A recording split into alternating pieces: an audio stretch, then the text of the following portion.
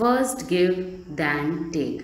This is a story of a man who teaches us humanity and can change the way we see the world.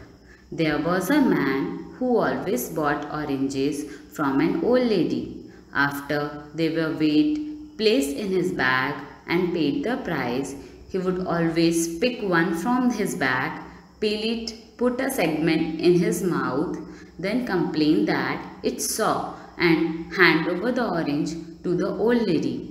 The old lady would put one segment in her mouth and reply, Why, it's sweet. However, by then he was gone with his bag.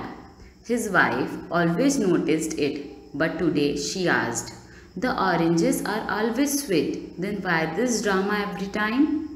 He smiled and said, The old lady sells oranges but never eat herself. By this trick, I just tried to get her to eat one without losing her money. That's it.